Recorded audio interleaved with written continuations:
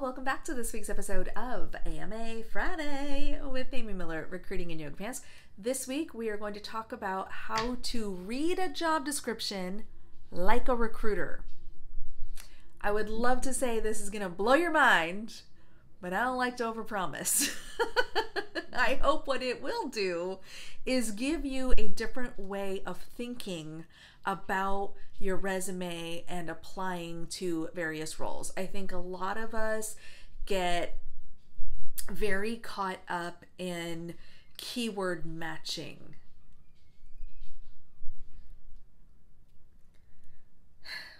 Keywords are important. I'm, I'm not going to try to convince you that they're not. And I have talked about keywords extensively.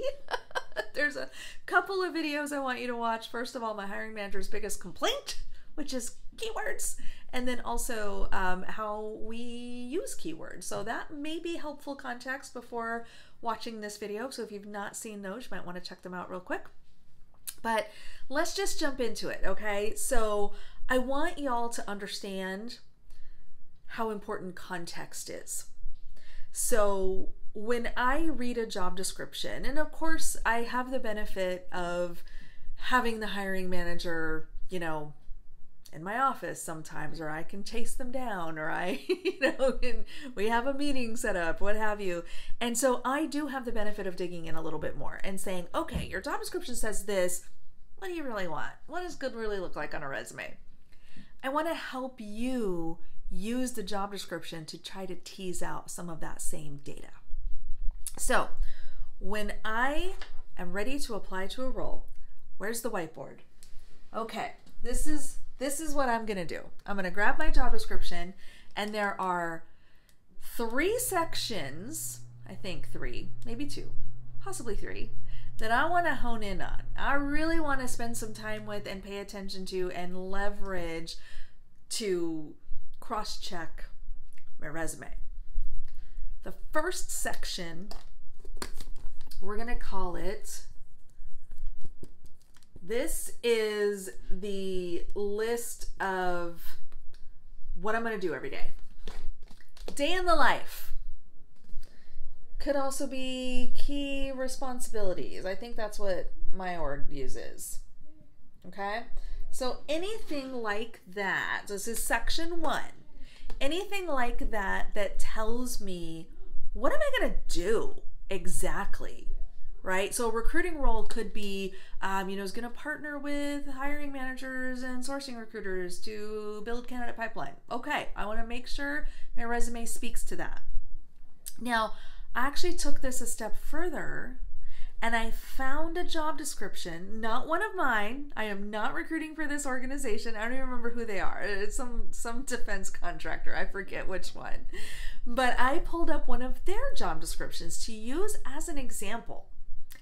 And in this case, I skipped past all the, you know, opening, um, you know, we're who we are and we do what we do and, you know, we have locations everywhere, blah, blah, blah. It doesn't matter. Don't care. None of that's going on my resume. But honing into what they are referring to as required experience, this is kind of that day in the life, you know, this is what I'm going to do. I will tell you what we talk about first is often the most important. This is just maybe a subconscious thing that as we're writing a job description, we immediately are like, oh shit, I really need somebody who can do this. And we write that first, and, and I really need this other thing. And, and you know, this would be a nice to have. And then it starts almost this is anecdotal at best, okay? but I feel like there's a logic behind it, and my personal experience bears this out the further down that list we get, the less critical those things become. So in this example that I stole off the internet, very first line, it's a big one. Hardware design of RF based systems, including board level schematic design, PWB layout, test and integration with software. That's the first line of the required experience. So a day in the life section might look something like, um, you know, you will design hardware, including board level, blah, blah, blah, and do your own testing and integrating with software to make sure that it works. Now, some folks might look at that and go, oh yeah, RF, keyword. Oh yeah, PWB layout, keyword. But where's the context? Have you actually done hardware design? This is important. You have to go beyond the keyword because I'm going to look at your resume and go, okay, they put RF on their resume. What did they do with it? What did they design? What did they improve? What did they build? Were they just coming behind the engineer and plugging something in, right? Like, this is what I need to know. What did you do? And that's just the first line, friends. The second line also says, must have, must, required. These are important words because guess what? If that is not on your resume, you are not qualified for the job. If you do have it, put it on your fucking resume. Seriously, yeah. I, I, if I had a nickel for every time a job seeker emailed me or messaged me and said, Amy, I'm interested in this job and I don't have this on my resume, but I've done it. Flames the sides of my face. I, I just want to scream. and believe me, I'm I'm I'm empathetic. I get it. I I feel bad that this isn't more broadly known and we don't talk about it more, but that's why I'm talking about it now. And if you got that reference, first person to tell me where that flames on the side of my face came from, I'll get you a little gift package. A little recruiting in yoga pants swag coming your way, okay? Drop a comment. Let me know where that's from. Bonus points if you name the person who said it. Okay. So this is important. Second thing, must possess, must have a strong design background of RF filters, couplers, and there's some other stuff. It's got to be there. The context has to be on the resume. I can't just say, oh yeah, RF filters is on the resume. I need to be able to understand the context in which you were exposed to this technology. Okay, so that's section one. I'm going to look at this day in the life, right? Section two, no surprise, basic, minimum qualifications. Had, oh, okay, I, yeah, I can't read my handwriting. This could be our BQs and our PQs. Okay, so I'm going to look for that. This is where we're potentially going to find educational requirements. This is where we're going to see years of experience required, right? And so, again, going back to my sample job here, it specifies must have, requires, requires a bachelor's degree, but not just any degree. No basket weaving degrees need apply must have a bachelor's degree in electrical engineering or related science, engineering, or mathematics field. If you do not possess one of those STEM degrees, you are going to be rejected.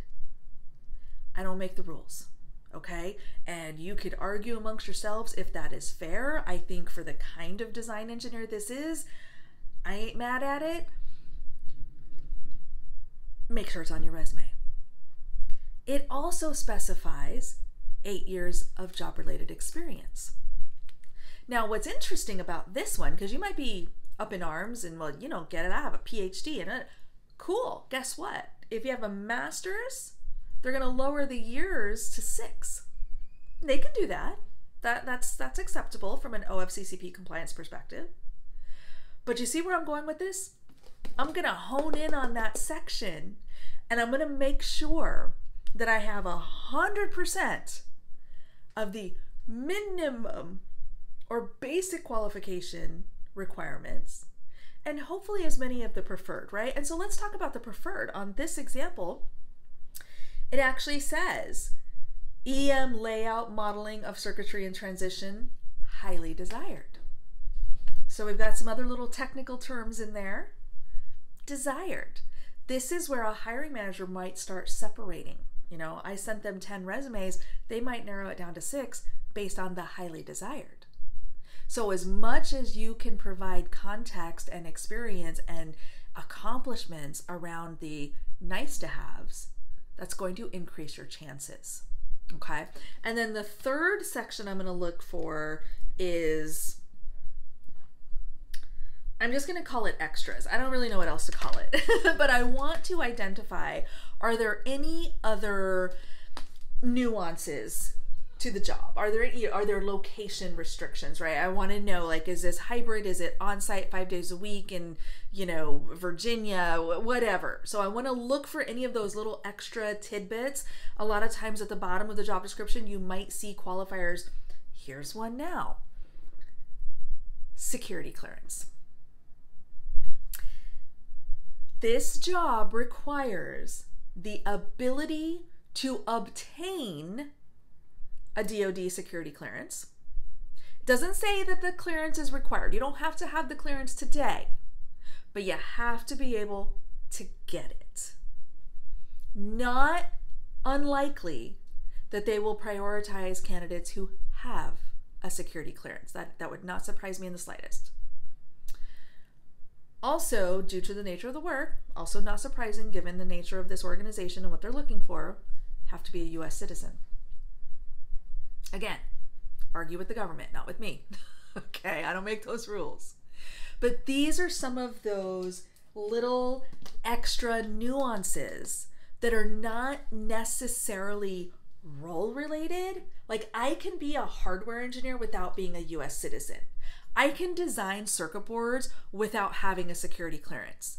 But for this job, if I'm about to hit apply on this job, you best believe I'm going to make sure that my resume leaves no doubt that I have done this kind of design work.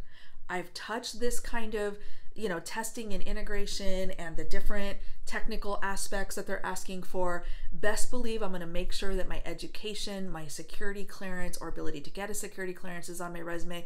And I'm probably going to add a little sidebar US citizen. I see those a lot because I also work for a company that has some of those restrictions. We have slightly looser than that. Don't have to be a citizen, but a US person, right? Which is a different category. So I get that and I understand the why because it comes from, again, the government. But these are things that I'm going to explicitly call out on my resume because I know how my resume is being read, because I know how to read the job description like a recruiter. All right, y'all. I hope that helps. A lot of lot of info I threw at you. Hopefully it made sense. so please do yourself a favor next time you're about to apply to a job. Before you do that, I want you to take the job description, print it out, grab a highlighter, do it on a Word doc or whatever if you're so inclined. I'm old school. I like to print things out and write and write things down and start highlighting those key things, right? What is required? What is a must have? What is non negotiable? What are some of those extras? Clearances, education, things like that. Highlight those and then go to your resume and make sure you can highlight the same things. Because if it's on the job description and not on your resume, your odds, well, friends, let's just say they're not in your favor. All right, y'all. I hope that helps.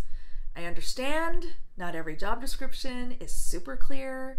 I have a video on that too. So go take a look at that one. Lots of homework for you in this week's video. Let me know what you think. If there's more on this topic you'd like to tackle, happy to dig in. And uh, who's getting a swag box this week? Hmm? Let me know down below.